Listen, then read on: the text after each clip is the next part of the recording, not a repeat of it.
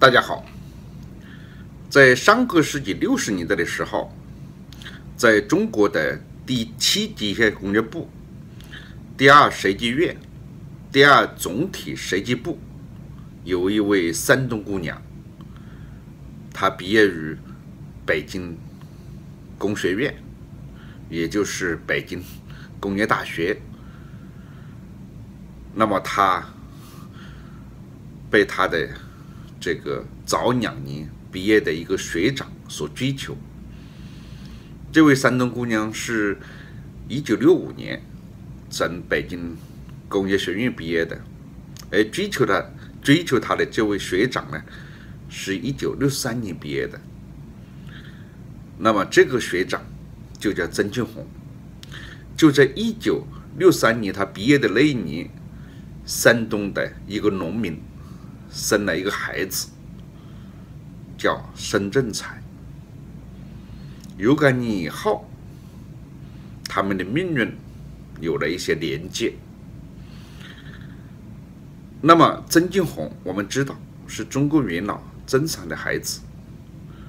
王凤清的父母，我们并不是很清楚。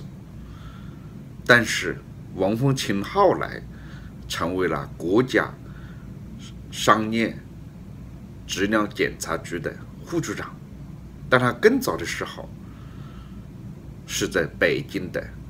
政府工作，商检局工作，从技术员、副局长慢慢升上来，升成副局长、局长，北京市。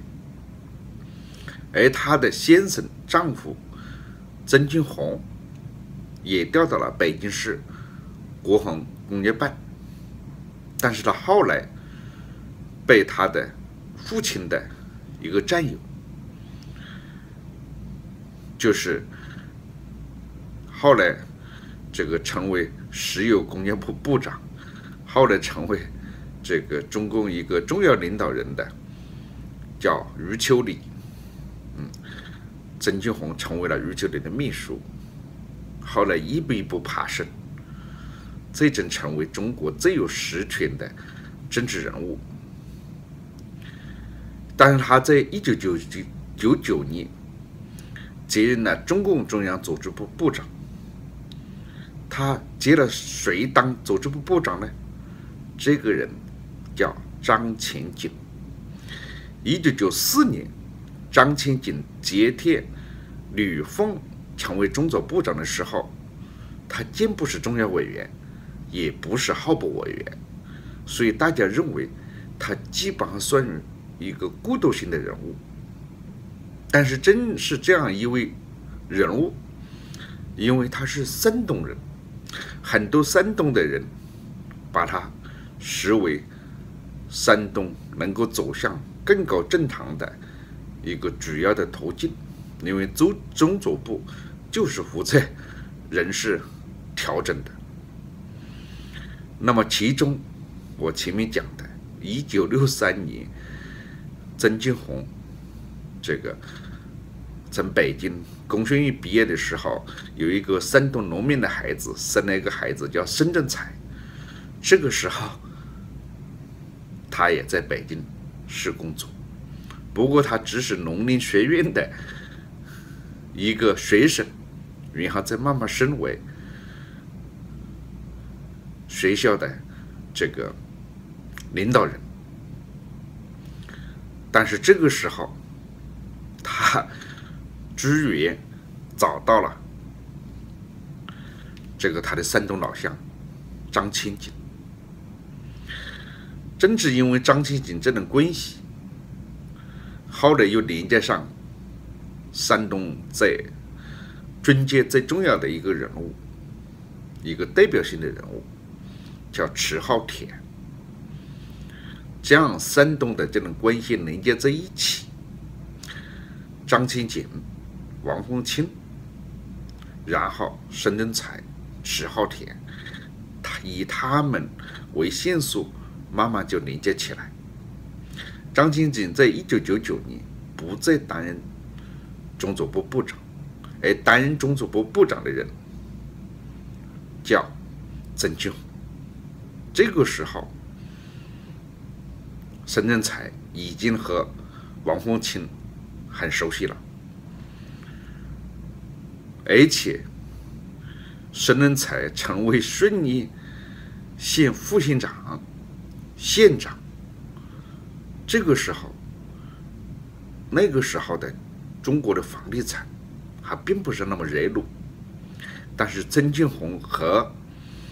王凤清的一个宝贝孩子叫曾维，网络上经常把它写成曾伟，伟大的伟不正确，维基百科把它写成伟大的伟也不正确，他叫曾维，维护的维。那么曾维在这个时候。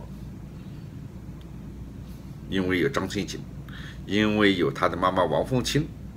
因为有迟浩田，那么他们也就认识了申正才。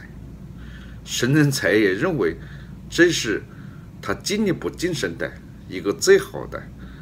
临界点。所以那个时候房地产不是那么实心啊，但是呢，也就是说有更好的机会呢，给予这个。曾维的一个发财的机会，所以曾维在顺义开始了圈地，开始了房地产，而且是非常低的价钱，甚至呢，啊开开展了这个墓地。当时曾伟急需要资金，啊，他一方面有非常强烈的商业发展的企图心，另外一方面呢，他正好跟这个中央电视台的当红的一个主持人。叫管彤的小姐恋爱啊，当然他希望管彤能够离开 CCTV，但是管长管彤呢，小姐的仍然希望发展自己的事业，所以曾维后来的妻子也是中央电视台的一个主持人，不过名字不叫管彤，是叫蒋梅。嗯，好，有感以后，他们在澳大利亚成为著名的商人。因为他们买了一个巨大的房子，几千万，嗯，元啊，不是几千万，应该是很高的价钱，忘了，啊，但是呢，把它拆掉，重新建立。那么，曾维浩呢，成为中国商界的一个非常顶尖的一个人物。不过，与后来最开始发展的刘元山的孩子刘路飞，温家宝的孩子温温温温温温什么？汪元生啊，那么呢啊，江江泽民的孙子江志成啊，那是不能比的啊。但是呢，这个曾维是发展的比较早的一个太子党，那么这样的话使申仁才的势头进一步看好，而且这个时候又连接了一个他的另外一个山东老乡，叫刘振阳。他就是鲁能公司的，后来大家都知道了，鲁能公司的这个董事长、总经理，所以鲁能公司后来吃掉了这个曾伟的地产，这个吃掉，那当然是巨大的资金的这个收购，这就成为了申仁才坚定的这个基础。然后这个时候，一个曾庆红成功的啊，不是灭掉了北京市委书记陈其统，把他的亲密战友贾庆林在福建省委书记任上调到了北京市委当市委书记。因为江泽民和曾庆红的呃和贾庆林的关系。也就进一步巩固了当时负责组织人事的大内总管、组织人组组织人事的主管啊，中国最有实权的曾庆红的关系进一步巩固。正是因为曾庆红的关系和贾庆林的关系，使深圳才的晋升就有了进一步的可能性。所以，深圳才晋升为贾庆林的在北京的大总管，迅速的跃升为北京市委常委。北京市委秘书长。贾庆林后来晋升为由国家的二级国家领导人，副国副国级要升为正国级，成为全国政协主席、政治局常委。而他的继任者叫刘奇，刘奇本来是一个技术的官僚，但是他继续使用了沈能才。沈能才在那个时候不断的这个要成为刘琦的一个大内总管，但是他没有想到，啊，这个时候出现了一个中国政治上的一个强势人物，嗯，而且是后来成为中国政治上最有实力的一个人物，王岐山。王岐山的北京市市长，在非典期间一举成名。那么，市长和市委书记、省长和省委书记，长期都是一个说不清楚的两者关系，所以很多地方省长和省委书记、市长和市委书记，因为权力化解不不清楚，所以斗争非常激烈。但是由于省委书记往往是比较强势，或者说地位比行政首长更高一些，所以呢。一些省长或者是市长，基本上就等待机会，熬成哪一天自己熬成市委书记或者省委书记。但是王岐山等不及，他的性格、他的才华，他也不能隐忍刘琦这样的角色。所以以王岐山为首的北京市政府班子，他的秘书周亮呢、董洪呢，还有后面的李小红呢，啊。这个杨小超了，这些人就成为刘琦市委班子啊，进行这个摩擦和对抗的班子。那这一边作为这个市委秘书长，那么他的职业没办法，只能选在站在这个刘琦这边，也就是说，整下了他后来下台的后根。当然，沈能才。他也是一个非常聪明的一个角色，是因为他是一个农民的孩子，啊，他本身的家庭并没有特别的背景，但是由于他跟山东帮的建立的关系，和张清通过张清锦、通过王凤清这两个山东老乡的结识，然后进一步形成了这个以山东为标志的中国政坛的这个势力，他成为其中一个。一个代表人物，一个一个以山东人看好的未来的山东人的在政坛上的代理人，所以他得到的支持是非常强有力的。但是他把自己的宝压在一个人身上，或者压在山东人身上还是不够的，所以他在这个时候找到了另外一个这个一个他的政坛上的一个后台式的人物。这个人就是，啊，这个温家宝，他不仅是在宝石方面给了温家宝的夫人啊这个很多的机会，而且呢，在温家宝的孙子还是什么嗯生病的期间，听说了他守了一晚上。我们知道拍马屁是中国官场的一个基本上特征，一个基本的习惯。但是女子的能够为了温家宝的孙子而站一晚上，这个也是政坛上一个罕见的举动。但是这一等罕见的举动和加上他跟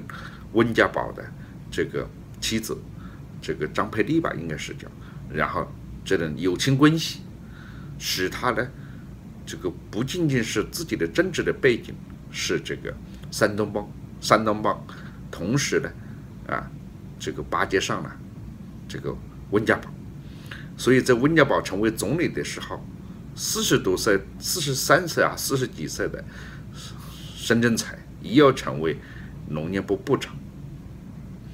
后来又加上曾庆红在后面的实力，温家宝的在后面的支持，所以他又成为了吉林省委书记，接替了后来在辽宁省委书记任上被王岐山的这个势力干掉的。这个辽宁省委书记王明，他当时是吉林省委书记，所以沈能才就成为了吉林省委书记。然后山东的形成了合力啊，合力。听说这个山东的这些军界、政界和商界，无不把沈能才当成他们的希望，他们的代理人。而且沈能沈能才本人在山东的山东的山东籍的这个军界、政界和商界有非常好的名声，包括后来啊这个成为著名商人的萧金华啊和沈能才也有很好的关系。正是这些关系，后来萧正萧金华被抓了以后，那么呢，其中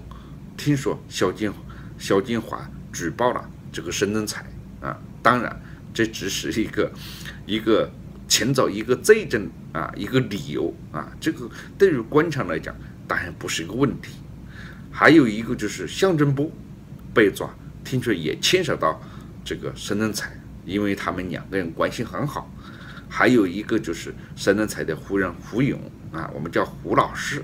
啊，在民生银行啊担任民生学院的这个。副院长还是执行院长还是院长？那么民生银行也是现在被追查的一个对象，所以集整合力一来，尤其是王岐山急于在十九大之前清理队伍啊，打掉一些他政治上可能性的一个敌手，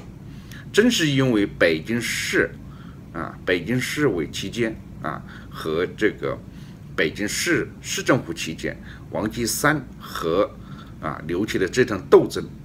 使王岐山留下一个巨大的阴影，必须要把这个当时好跟他作对的这个势力一个一个清除。对于沈能才来讲，如果他不能在十九大拿下来，那么十九大他有可能就成为政治局常委的人选。如果不成为常委的人选，他也会在中央的一个食品部门呢扮演一个角色，而这个角色对于王岐山来讲是一个很大的威胁。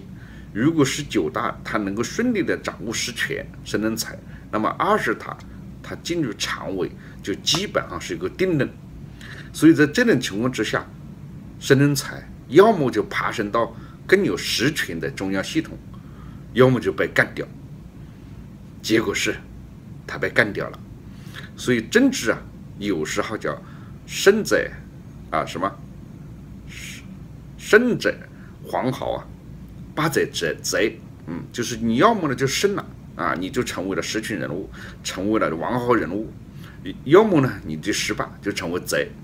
就是那么对于这个掌握权力的人来讲，对于这个政治的这个斗争者来讲，其实就是一线之隔。对吧？结果沈能才倒霉了，结果他编织的这些关系网没有这种能够保护到他，这就没有保护得了他，啊，那么他的下场这个会怎么样呢？我们现在还不知道，而且他的关系网，我今天的节目只是展示了其中一个比较粗糙的龙龙格，未来我将会进一步。跟大家探讨，谢谢大家。